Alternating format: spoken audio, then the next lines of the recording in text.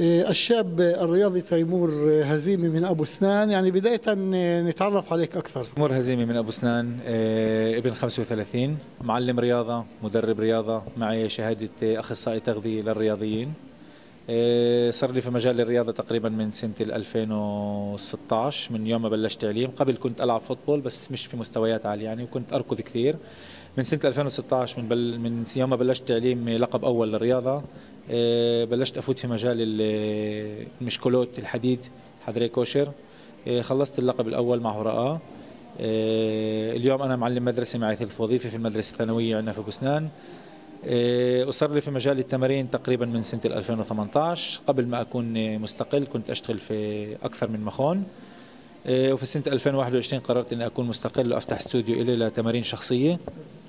استوديو سميته انفيلد على اسم فريق ليفربول اللي أنا بحبه اسم ملعبهم الإنفيلد. وزي ما كيف أنت شايف كل شيء بخص ليفربول هون إحمر والاسم والكل.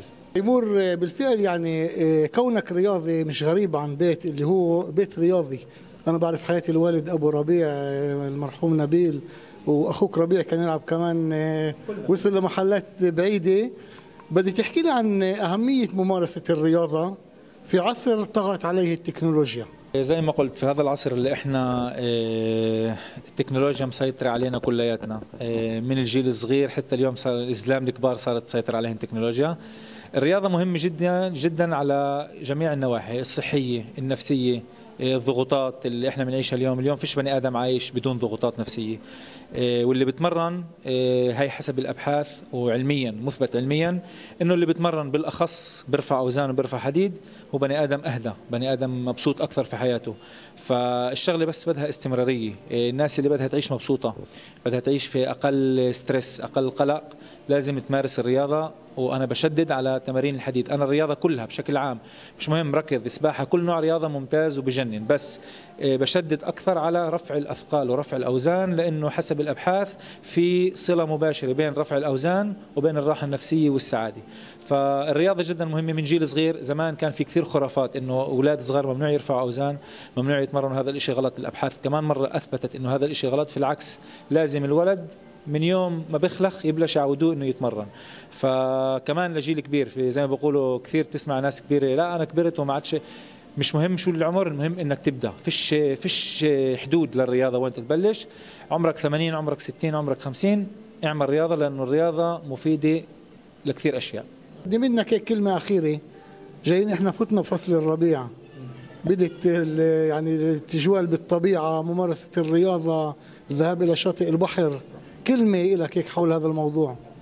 مع إني أنا ضد المقولة إنه أجسام الصيف بتنبنى في الشتاء وإنه الواحد لازم يستغل الشتاء عشان الصيف والمناسبات. أنا بشدد إنه الرياضة تنعمل على مدار 365 يوم في السنة. بس بما إنه بشكل عام يعني أغلب الناس في الشتاء بتحبش تطلع من بيتها هسه بلشنا في الربيع الطقس بلش يكون حلو والمناسبات عم بتقرب الأعراس الأعياد هاي الفرصة وهذا الوقت إنه الناس تبلش تمارس الرياضة.